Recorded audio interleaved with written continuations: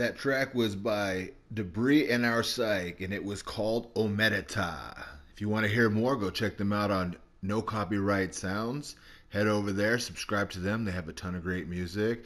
As for myself, thank you for watching. This is Ronin Gamer 0420, and I myself am The Enigma. If you liked what you saw and you like what you heard, please subscribe hit that notification button so that you can be updated on all the latest and the greatest. And make sure you hit that thumbs up and show me some love because, well, who doesn't need some love in their life?